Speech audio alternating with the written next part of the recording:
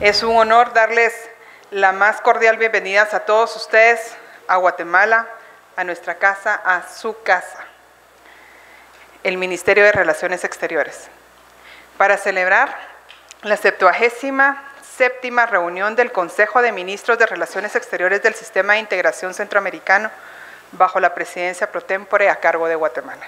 Tengo la gran satisfacción de liderar este proceso y seguir impulsando los objetivos prioritarios trazados para Guatemala para avanzar en nuestra agenda regional y fortalecer los cinco pilares de la integración.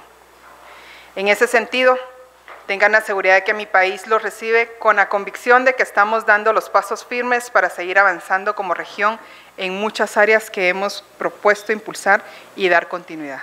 Estamos dando gran importancia a nuestras relaciones con la comunidad internacional. Acabamos de realizar la reunión de la Comisión Mixta en Bruselas y en los próximos meses estaremos teniendo encuentros con Turquía, Marruecos y probablemente con Japón. Fortaleceremos nuestro diálogo político y con ellos abriremos nuevas puertas para la cooperación.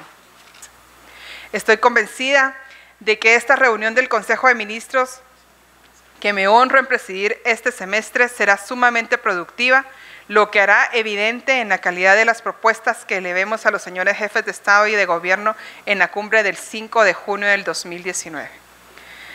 Nuestro objetivo es que este espacio de diálogo nos permite avanzar y dar continuidad al trabajo que, este Consejo de Ministros ha venido realizando bajo la acertada conducción de las presidencias pro tempores que me han antecedido.